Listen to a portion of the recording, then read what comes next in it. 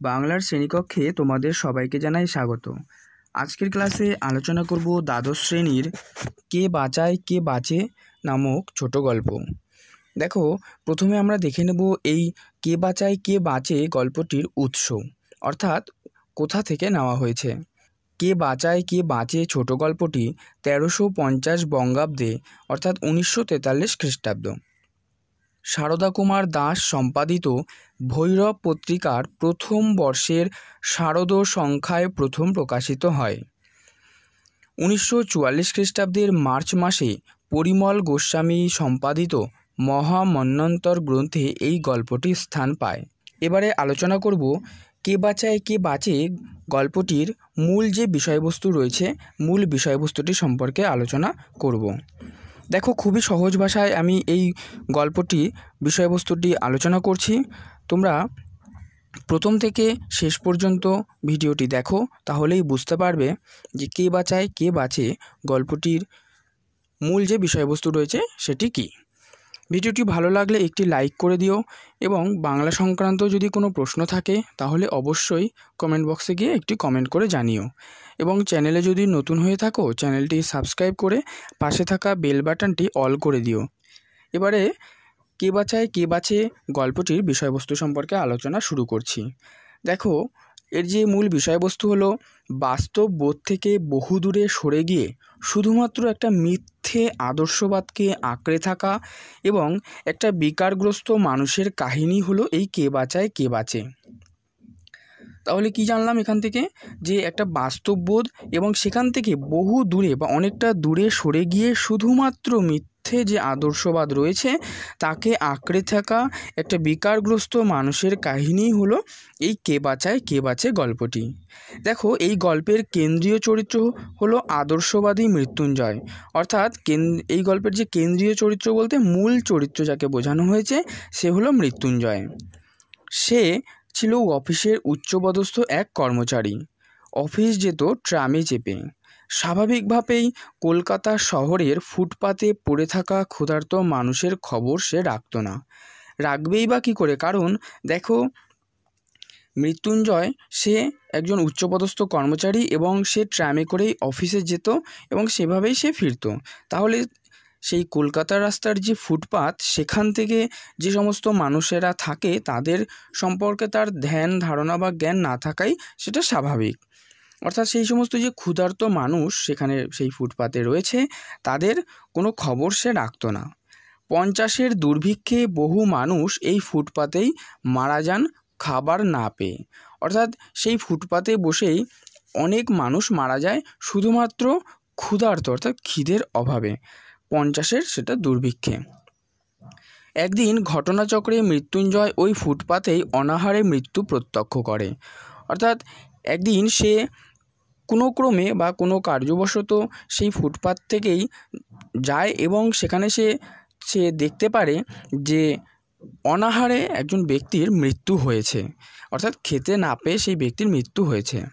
তবে সে কোনো দিনের দুর্বলচিত্ত আবেগপ্রবণ মানুষ ছিল না।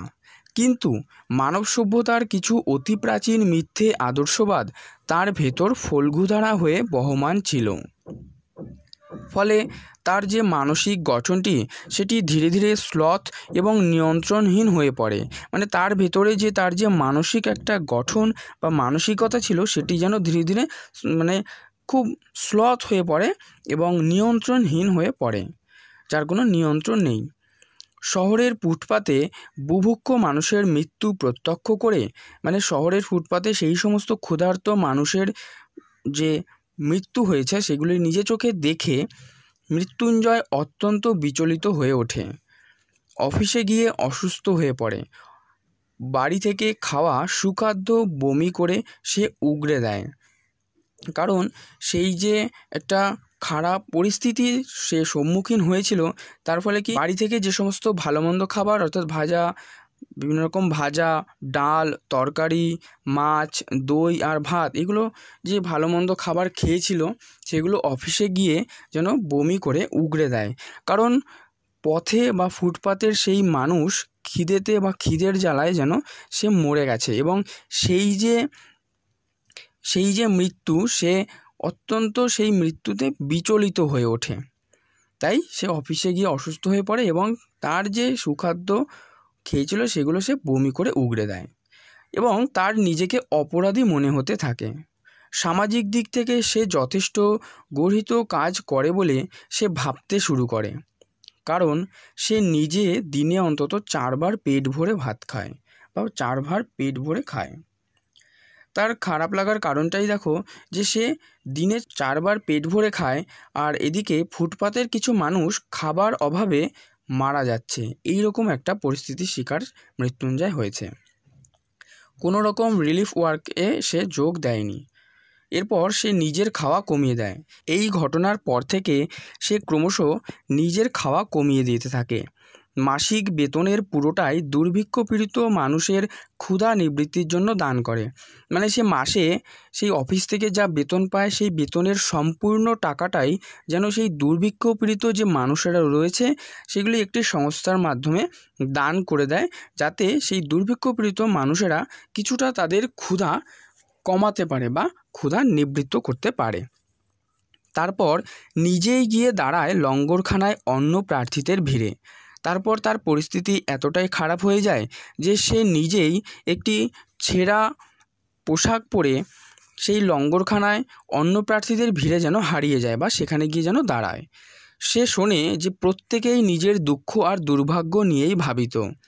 সে তাদের সেই লঙ্গরখানার লোকেদের মধ্যে গিয়ে সে নিজে বুঝতে পারে এবং সে শুনতে পায় যে প্রত্যেকেই যেন তার নিজের নিজের যে দুঃখ রয়েছে, তার যে খারাপ লাগাগুলো রয়েছে, সেগুলো নিয়েই ভাবিত। তারা অন্যের কোনো কিছু নিয়েই যেন তারা ভাবিত নয়। কারুর বিরুদ্ধে তাদের কোনো নালিশ নেই, প্রতিবাদ নেই, দোষারোপও নেই। অর্থাৎ কারোর বিরুদ্ধে তাদের বা সেই দুর্ভিক্ষ পীড়িত যে মানুষেরা রয়েছে লঙ্গরখানায় বা দুর্ভিক্ষ পীড়িত যে সমস্ত মানুষেরা রয়েছে, তাদের কোনো নালিশ নেই, কোনো প্রতিবাদ নেই এবং কোনো দোষারোপও নেই কারও সম্পর্কে। কারণ তারা তাদের নিজেদের ভাবনায় এবং নিজেদের দুঃখ কষ্টে তারা ভাবিত। বা ভাবতে থাকে। এরপর সে শুধুই ভাবতে থাকে। সে বলতে এখানে মৃত্যুঞ্জয়ের কথা বলা হয়েছে যে সে শুধুই ভাবতে থাকে যে তার কি করণীয়? মানে এরপর তার কি করার আছে বা কি করণীয়? সে কি করবে? অবশেষে সে ভদ্র জামাকাপড় ছেড়ে, ছেঁড়া ন্যাকড়া পরে হাতে একটা ছোট মগ নিয়ে লঙ্গরখানার অন্য প্রার্থী হয়ে পড়ে। এরপর সে কোনো কিছুই বুঝতে না পেরে সে তার যে পোশাক, সেই ভদ্র পোশাক ছেড়ে, সে একটি ছেঁড়া ন্যাকড়া বা কাপড় পরে এবং হাতে ছোট্ট একটি মগ নিয়ে সেই লঙ্গরখানার অন্য প্রার্থী হয়ে পড়ে। অর্থাৎ সেই লঙ্গরখানায় সেখানে গিয়ে লাইন দেয় এবং লঙ্গরখানার যে সমস্ত আরও অনেক দুর্ভিক্ষপীড়িত মানুষেরা রয়েছে, তাদের মধ্যেও যেন একজন হয়ে ওঠে। সেই মৃত্যুঞ্জয়। এখানে লঙ্গরখানার কথার অর্থ হলো যেখানে বিনামূল্যে খাদ্য বিতরণ কেন্দ্র বা যেখানে বিনামূল্যে বা বিনা পয়সায় খাবার দেওয়া হয় বা যুদ্ধ বা প্রাকৃতিক দুর্যোগে বা মন্বন্তরে যখন চরম খাদ্য সংকট দেখা দেয়, তখন বিভিন্ন লঙ্গরখানা খোলা হয়। অর্থাৎ তাহলে এখান থেকে আমরা বুঝতে পারলাম যে লঙ্গরখানা কথার অর্থ হলো বিনামূল্যে যেখানে খাবার দান করা হয়, সেটাকে বলা হয় লঙ্গরখানা। তাহলে কে বাঁচায়, কে বাঁচে? ছোটো গল্পটির এটাই ছিল মূল যে বিষয়বস্তু সেটি। Thank you